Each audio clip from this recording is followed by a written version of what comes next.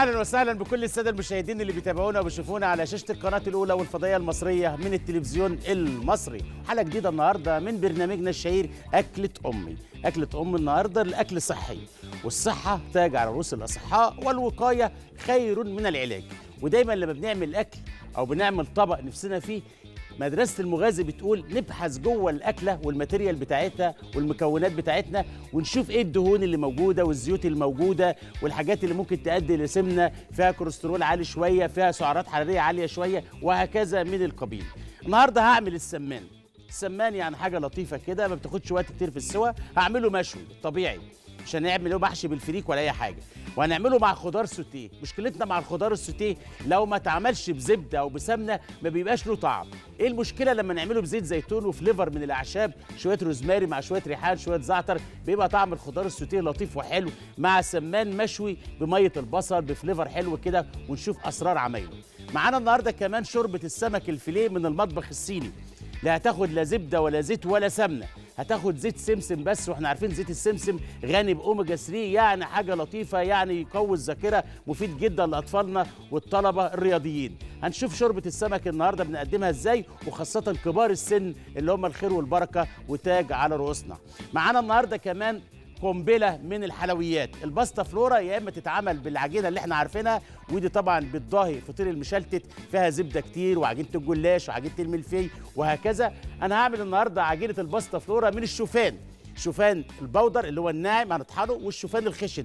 الاثنين هيختلطوا مع بعض يساعد على الموضوع ده شوية دقيق. العادي بتاعنا علشان تبقى العجينة متماسكة وفيها مادة ال- الجلوتين القوية اللي بتخلي العجينة مطاطة تبقى لطيفة وحلوة. أنا مش عايز أطول على حضراتكم في النظري. هنشرح إزاي ولكن خلونا مع العملي. إزاي نعمل أكل صحي قيمته الغذائية عالية جدا وكمان يناسب الكبار الكبار, والصغار. والصغار طبعا أهم بكتير علشان نعودهم على الأكل الصحي وتبقى مدرسة مطبخنا نعمل أكل هيلسي وصحي. هنروح فاصل صغير وبعد الفاصل آه تروحوا بعيد تابعوني.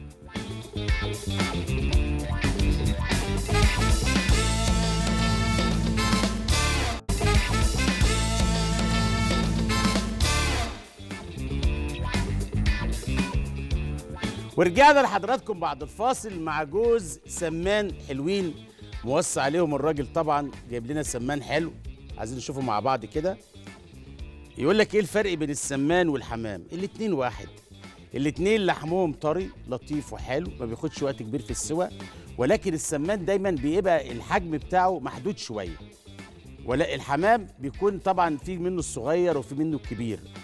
والحمام بياخد وقت كبير في السوى السمان اللون اللحم بتاعه يميل للحمار شوية. أنا هعمله دلوقتي مع بعض مشوي مع حضراتكم ونقدر إن إحنا نعمله كبسة نعمله برياني نعمله مع الرز زي ما إحنا عايزين.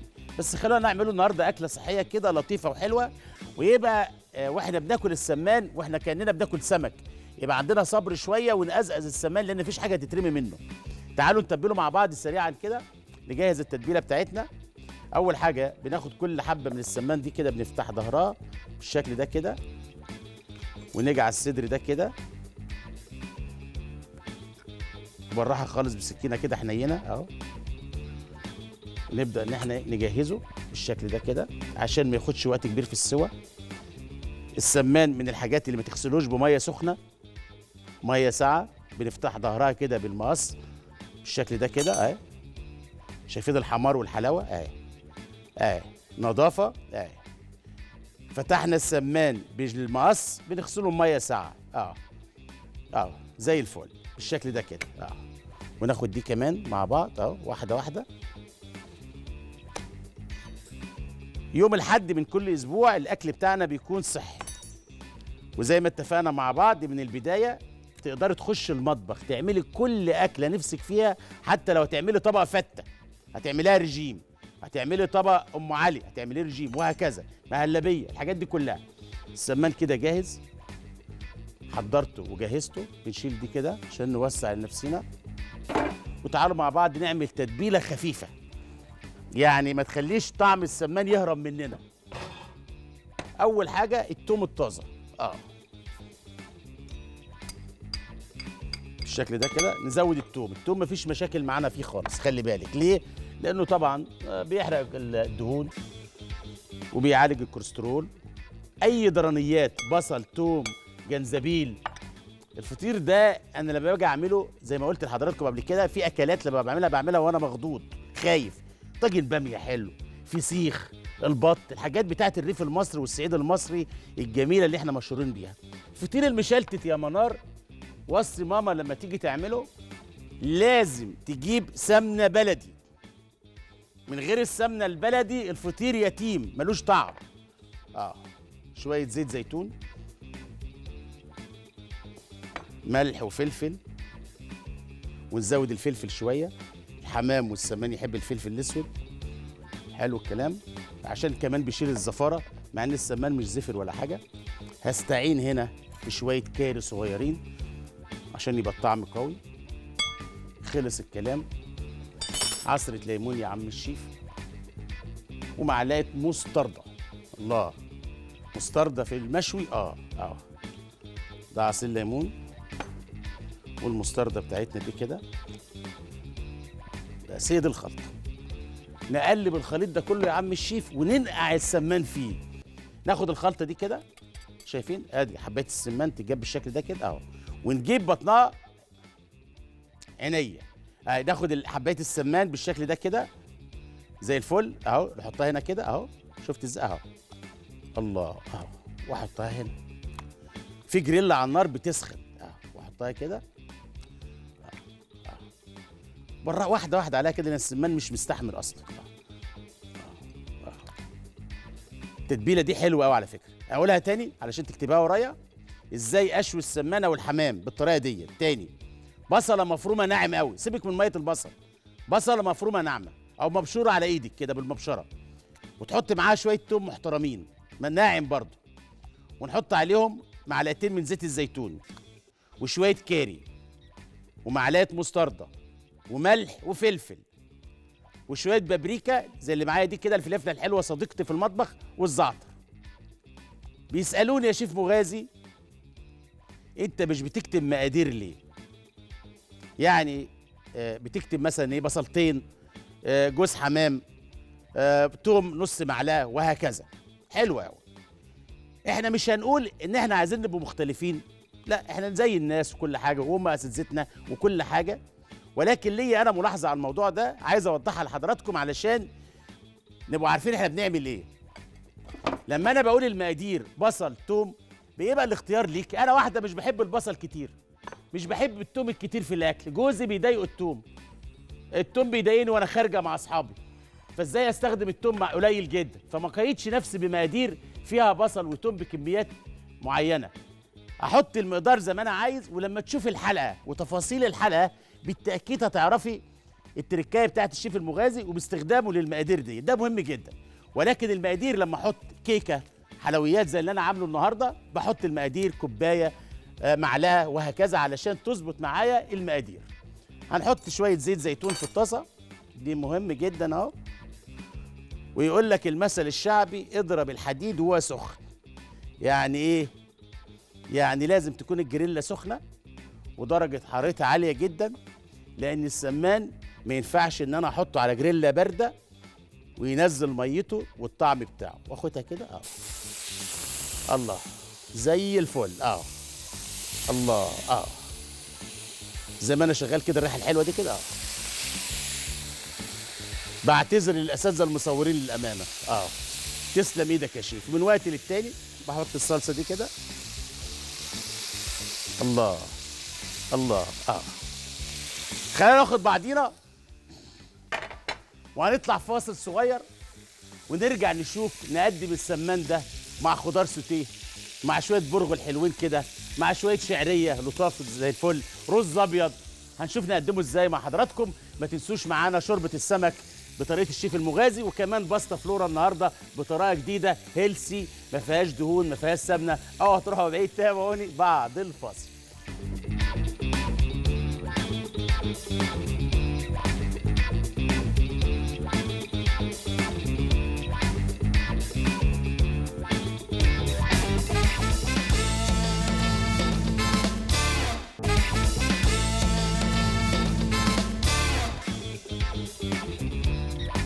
ورجعنا لحضراتكم بعد الفاصل محلك سرك يا أبو الشيف. التفاصيل وأسرار نجاح الأكلة معانا. تعالوا نشوف مع بعض الصوت السمان.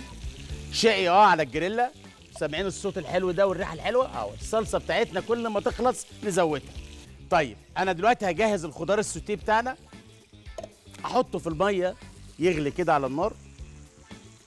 علشان بعد ما يتسلق أشوحه في طاسة مع شوية روزماري. شوية زعتر شوية ملح شوية فلفل لطاف كده وبلاش الزبدة. إحنا اتفقنا ان إحنا بنهرب من المادة الدهنية اللي بنستخدمها في الأكل لو بنعمل أكل صحي.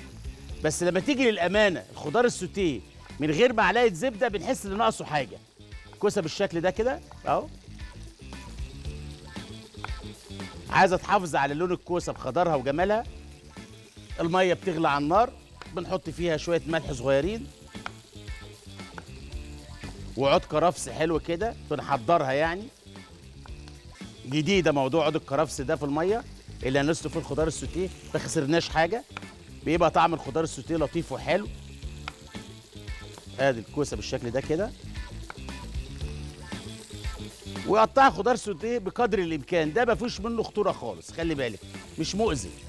وادي الجزر بتاعنا. للأمانة والمصداقية اللي متعودين عليها من الشيف المغازي الجزر ده مسلوق تلات أرباع سوا أو نص سوا. أهو. ده مهم جدا أهو. ليه يا شيف؟ لأن الوقت بتاع تسوية الجزر بطب طبيعي بيكون كتير شوية. الجزر بياخد وقت كبير. غير البطاطس غير الكوسة غير البروكلي. آه عينيا. آه هناخد الكوسة عندنا المية أخبارها إيه؟ فيها شوية ملح فيها شوية ملح فيها شوية كرفس فيها شوية كرفس. يبقى طعم المية حلو جاهز وبتحضر كده لسلق الخضار. آه. زي الفل يا عم الشيف. ناخد الكوسة نحطها هنا كده. يلا توكلنا على الله. معاها الجزر. شوف المفاجأة بقى المفاجأة بقى البروكلي. ينزل معاها ده كله هيستوي مع بعض يا شيف طبعا. هنشوف الخضار والحلاوة دلوقتي. آه. في قلب المصفى كده اللي محطوطة فيها إيه؟ فين؟ في المية اللي بتغلي. آه. نغطيه ولا ما نغطوش؟ مش مشكلة. طالما حاطة شوية ملح مع المية أغطيه كده عشان يستوي بسرعة. آه زي الفل. ونبص على السمان اتحرق ولا ما اتحرقش. المال الحلال ربنا مبارك فيه. اللهم صل على النبي. آه. آه. أنا بس بجيب كل واحدة على بطنها وهو بالشكل ده ونشوف السمان ولونه الحلو. آه. زي الفل. برضه هنخليه زي ما هو. تعالوا نشوفوا مع بعض مقادير شوربة السمك. خلونا نعملها ونخلص منها. شوربة السمك إزاي نعملها رجيم؟ من غير أي مادة دهنية هنعتمد على الكرفس والثوم في طبق الشوربة ده مع بصل وسمك فيليه قشر بياض. وزيت سمسم. أهو يا غالي أهو يلا جنب زيت السمسم. أوميجا 3 مع أوميجا 3 وقول معايا الصورة الحلوة تتحدث عن نفسها. معلقتين من الصويا صوص علشان مش هستخدم ملح. مع الكرفس والثوم والزعتر والبابريكا. هي دي المقادير بتاعه شوربة السمك اللي هنعملها مع بعض دلوقتي حالا. هنشوف نعملها إزاي. والمقادير على الشاشة تقدري تصورها بالتليفون أو تكتبيها ورايا كمان مرة. مفيش أي مشكلة. طاسه على النار أو الحله اللي هعمل فيها الشوربه. بحط فيها كده معلقتين من زيت الزيتون صغيرين اهو. واشوح فيهم بصله وتومه. بصله وتومه. هعلمك إزاي تعملي شوربة سمك فيليه بطريقة الشيف المغازي. اهو. اللهم صل على النبي. بصلاية تاخد لون. ننزل عليها فصين توم حلوين. ونقلبهم مع بعض بسرعة. ياخدوا لون ما ياخدوش لون مش مشكلة. شوربة السمك بتحب البصلاية تاخد لون. إيه الحلاوة دي يا عم الشيف آه. اللهم صل على النبي. ننزل بشوية زعتر حلوين على البصلاية عشان عينينا ما تدمعش. ده الطبيعي. تستخدموا الزعتر في تحمير البصل. يقول الشيف بيستخدم زعتر كتير. دخلت المطبخ تعملي بصلاية في النار زي ما أنا شغال كده. حط عليها زعتر عشان الريحه وننزل بالمية بتاعتنا اللي بتغلي. اللهم صل على النبي. فين السمك يا شيف؟ اصبر على رزقك يا غالي. اللهم صل على النبي. آه. تمام. والخضار بتاعنا شغال. هنخلي المية تغلي. اللي فيها البصلاية وفيها التومة. بالشكل ده كده. ولينا موقف مع السمك. يا نعم.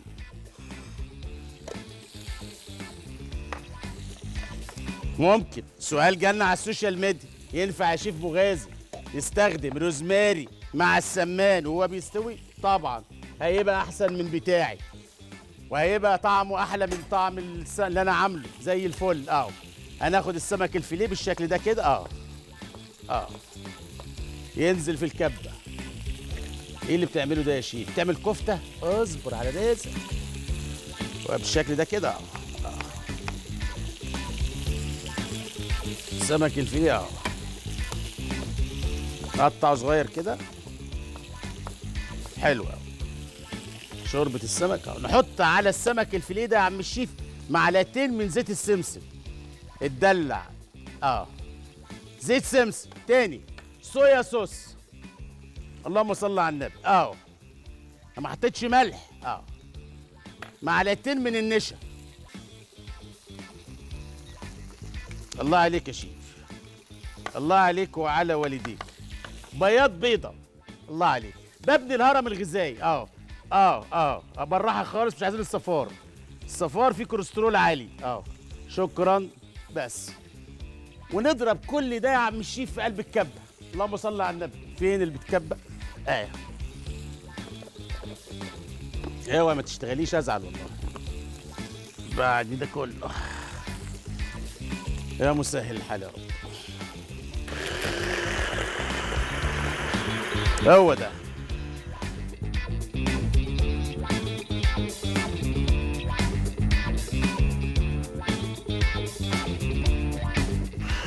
خلص الكلام. نبص على السمك ده مش شكل سمك خالص الله يسامحك. ده انت بوظت المعالم بتاعته. هنشيل دي كده؟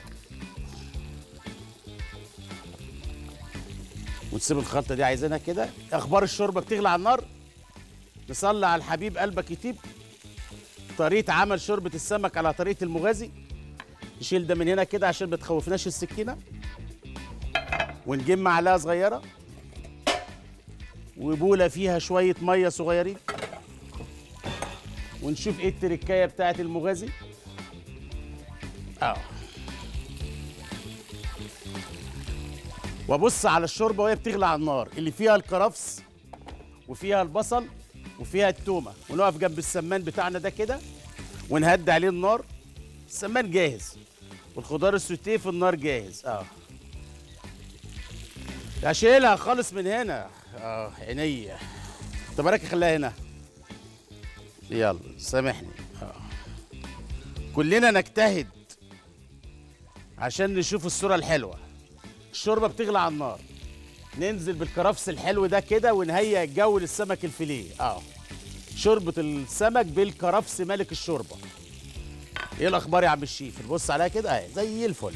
ما حطيتش لا ملح ولا كمون ولا كزبرة. معايا نار شديدة ومعايا معلقة في قلب المية. وأجي كده في نفس بتاع أهو وأشتغل كده. آه. اللهم صل على النبي. آه عينيا عينيا ده ابداع ده. ده ابداع يا شفيق. آه. لازم المية تكون بتغلي على النار في درجة حرارة عالية. وما قلبهاش. ما تخشش البنوتة الحلوة عندك في المطبخ ولا ابنك ربنا يخليهولك. بتعملي يا ماما؟ سمك. ويجي ضارب المعلقة ولا المغرفة في قلب الحلة. باظت الأكلة. سيبيها كده تاخد راحتها لأن أنا حاطط نشا وبياض بيض. وجود النشا مع بياض البيض هنا تكنيكيا. بيخليها طبعا هبر في قلب الشوربة. آه. آه. تقول لي صيني ولا ياباني؟ المصري رقم واحد. آه. آه. وأنا شغال.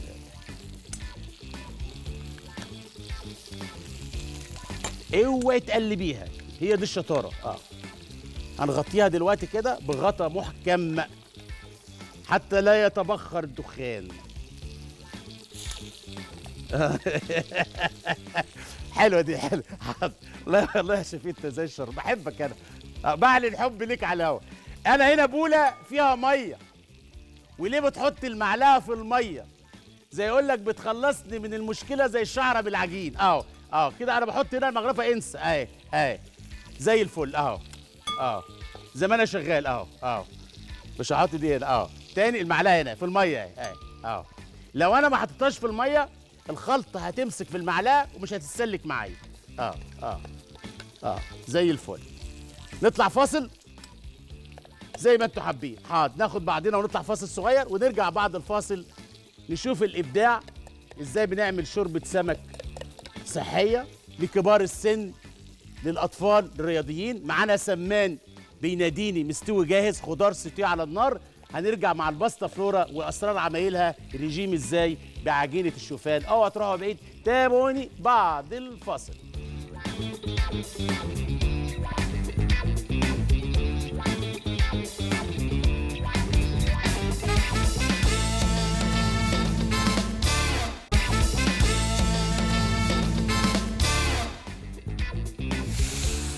ورجعنا لحضراتكم بعد الفاصل نشوف السمان. إيه الريحة الحلوة دي يا شيخ؟ اللهم صل على النبي. طبعا كل السمان ما يعطش اسقيه اسقيه محبة. معانا طبق حلو. الطبق دي عليه عليه طبعا شوية برغل ممكن شوية شعرية بيت كده زي الفل عينية. ممكن نحط شوية رز أبيض عشان الأطفال الحلوين. يحبوا الرز مع الخضار السوتيه ممكن أو مكرونة. الله على الريحة الله على الريحة. ده الحمام. شيل دي من النار هنا. الله سمان. خضار سوتيه. إيه الجمال والحلاوة دي يا عم الشيف؟ معانا كوسة. الله. ومعانا جزر. معانا بروكلي. الشكل الجميل برضو والصورة الحلوة كده اللي بتبقى على السفرة. بتلفت الأنظار. في أطفال حلوين.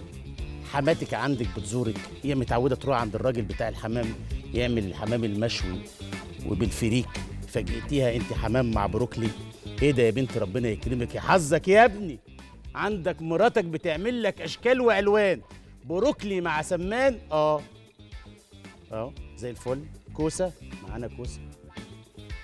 لسه هوريكم الشوربة دلوقتي بس إيه؟ المخرج بيقول لي عايز أشوف السمان. إيه ده؟ إيه الحلاوة دي؟ خضار السوتيه كتير؟ آه زي الفل. شيل من هنا خلاص. طبق شكله حلو. ممكن اتصور معاه. نبص على السمك ونصلي على الحبيب قلبك يطيب. اللهم صل على النبي. إيه أخبار السمك؟ شوربة السمك. إيه الجمال والحلاوة دي؟ هو ده. شوربة السمك آه. فين السمك اللي كان معانا من شوية؟ نبص عليه. آه. زي ما هي. آه. اللهم صل على النبي. نجيب طبق التقديم. شوربة السمك دي قولوا معايا حقوق الطبع لدينا وبس. على شاشة القناة الأولى. نجتهد للإبداع. اللهم صل على النبي. لا زبدة ولا زيت ولا كريمة لباني. آه. طبعا لو أنت عازمه حد مستحيل يقول لك ده سمك. إلا لما تشرحي له التفاصيل اللي الشيف المغازي النهارده عملها. آه. كبار السن وكلنا طبعا عارفين لما بيكبر بينا العمر ما بنحتاجش الاكل اللي بياخد هضم كتير وبياخد مجهود معانا في المضغ. ده الطبيعي. أمي كانت كده الله يرحمها. تحب الحاجة اللي ما بتاخدكش إيه؟ مجهود. آه بنيجي ناكل السمك ده حلو. لا شوك بقى ولا حسك ولا الجو اللي إحنا عارفينه. ريحة الكرفس هنا مش عايز أقول لحضراتكم يعني مسيطرة على الطعم لأن دايما هو ملك الشوربة. بص كده بقى الشوربة وهي نازلة. فيها طعم الصويا صوص؟ آه. فيها طعم زيت السمسم آه. فيها طعم التوم آه. فيها بصل آه. آه. آه. آه. آه. آه. ارفع إيدك. لا تقول لي ياباني ولا صيني مصري وبس. آه. خلص الكلام. تمام. تعالوا مع بعض إزاي نشوف الباستا فلورا. اللهم صل على النبي. حلو. مقادير الباستا فلورا على الشاشة. قدرنا نعملها ونكملها مع بعض. أهلا وسهلا. ما قدرناش معانا من الوقت إن شاء الله نعملها مرة واثنين وثلاثه عجينة الباستا فلورا عبارة عن زي الفل عبارة عن نوعين من الدقيق شوفان مطحون وحبوب الشوفان أو قشور الشوفان. حلو الكلام؟ زي الفل. أدي الشوفان المطحون. بالشكل ده كده. بينزل عليهم شوفان مطحون شوية. عشان العجينة تتحد وتبقى ايد واحدة ونحط نص كوب من الدقيق بتاعنا العادي. حلو الكلام. المادة الدهنية معلقتين زيت ذرة. اهو مفيش لا زبدة ولا أي حاجة. خلي بالك في العجينة بتاعة الباستا فلورا. في المقادير يا عم الشيف. نحط بيضة صغيرة كده أهي. زي الفل. كل دول مع بعض. يا نعم. عينيا حاضر. يا ويلي. اللهم صل على النبي. حلو. زي الفل. شوية baking powder. ليه baking powder يا شيف مع الشوفان؟ محدش سألني يعني. عشان العجينة تبقى هشة وطرية بسكويته شوية سكر. سنة ملح صغيرة. كل المقادير دي يا عم الشيف بعجنها إذا احتجت لأي سائل هنا بقى بستخدم هنا حاجتين. أو حاجة من الاتنين يعني. يا إما حليب دافي يا إما مية دافية. آه دي بتاعتك أنت بقى. عايزة مثلا العجينة هيلث قوي يعني ماشي. يبقى شوية مية دافيين. بيأدوا الغرض. عايزاها شوية فيها دسامة عندك ابنك صغير رياضي وما تبقاش الباستا فلورا ريجيم بقدر الإمكان استخدمي حليب. ممكن تكون قليل الدسامة مفيش مشكلة. آه. العجينة بالشكل ده كده؟ آه. دي العجينة بتاعت الباستا فلورا. دي اللي تهمني. أما الحشوة فراولة. مربى فراولة مربى التين أنا بحبها مع مربى التين على فكرة. تبقى لطيفة وحلوة ومربى التين مفيدة جدا وقيمتها الغذائية عالية جدا. زي ما أنت عايزه بفلفل كل ده مع بعضه. وأستخدم إيديا بقى في العجينة زي ما هنشوف مع بعض دلوقتي. المصداقية شعارنا على شاشة القناة الأولى.